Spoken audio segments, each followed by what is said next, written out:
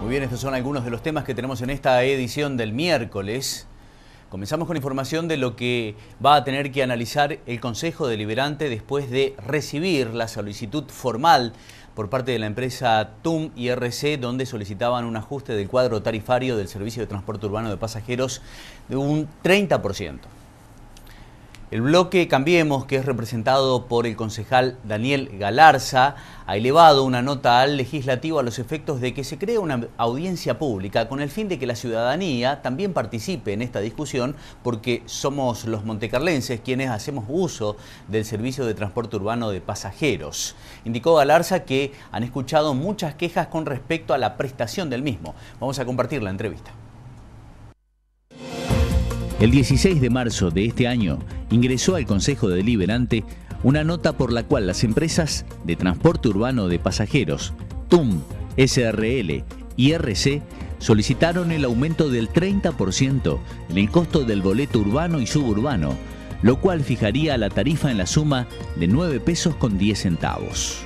Los últimos aumentos de las tarifas ocurrieron en el año 2015 en dos ocasiones, mediante ordenanza número 20 Foja 2015 del mes de abril y ordenanza número 67 Foja 2015 del mes de septiembre.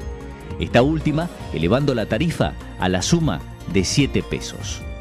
El concejal Daniel Galarza se refiere a este tema y la necesidad de realizar una audiencia pública para conocer cuáles son los argumentos de la empresa para solicitar los ajustes y asimismo plantea una serie de quejas por parte de vecinos de la localidad en relación a la prestación del servicio. Por ejemplo, enumeró lo siguiente. Las malas condiciones de las unidades, principalmente las que hacen los recorridos de la zona de la colonia y barrios periféricos. Problemas con la frecuencia de las unidades, tanto en días de la semana como así también en los días sábados y domingos. No devolución de vueltos falta de respeto por parte de choferes a jubilados y personas discapacitadas y utilización del servicio público para fines proselitistas, privando del servicio a cientos de vecinos en días de elecciones. Sobre estos temas hemos dialogado con el concejal Daniel Galarza, quien explica que ya está la nota presentada al Consejo Deliberante. Bueno, ante notas ingresadas al Consejo Deliberante con respecto a un posible aumento que podría haber en las tarifas de transporte urbano, eh, nosotros por un lado hicimos, hemos presentado una nota eh, en la cual manifestamos varias inquietudes que, suceden dentro de la comunidad con respecto a, todo lo que sea la parte de servicio que presta el servicio urbano, ¿no? y contrarrestando un poquito esto, también hicimos, elaboramos un proyecto de ordenanza en donde establecemos un mecanismo de audiencias públicas, ¿no? Que hoy por hoy no están dadas en en la Carta Orgánica Municipal, entonces queremos una adhesión de esto.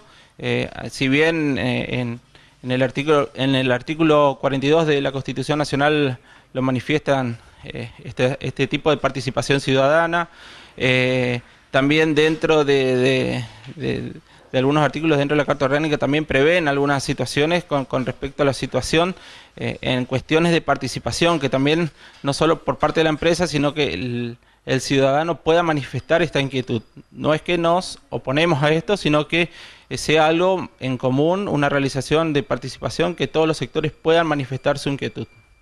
Claro, la empresa manifestó en una nota eh, un aumento de 30%, aproximadamente el boleto de 7 pesos estarían elevando a un promedio de 9,10, eh, eh, lo que nosotros eh, manifestamos con esta participación ciudadana porque para tener en cuenta, por ejemplo, una persona que viaja de lunes a sábado, mañana y tarde, que tiene cuatro viajes diarios, eh, es importante también eh, cómo le afecta a la persona del bolsillo. Si bien hubieron muchos aumentos, eh, nosotros no estamos ajenos a esto, sino que llegar a un consenso entre empresa y también comunidad, o sea, para poder tener tarifas consideradas, o sea, de acuerdo también al ciudadano.